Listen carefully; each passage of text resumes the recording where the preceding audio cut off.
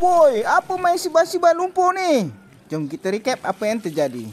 Sebenarnya Bromin tengah cuba NXT Ultimate Fast Coating Nano Ceramic Spray ni guys. Teknologi dari Jepun. Jom kita tengok padu ke tak barang ni. Okay, bahagian ni kita takkan letak coating dan bahagian sini pula kita letak coating.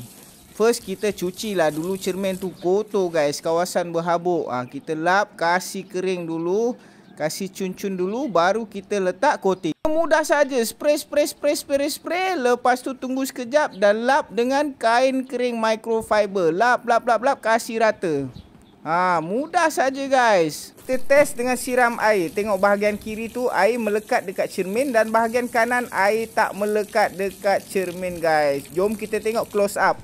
Ha, nampak clear sikit jelas. Nampak air tu melekat. Dia memang turun tapi air melekat. Dan bahagian kanan bahagian coating tu air terus jatuh. Dia tak melekat dekat cermin. Tak puas hati bromin simbah dengan air lumpur. Ha, kita simbah dengan air lumpur. Biar dia kotor dan kita tengok apa jadi.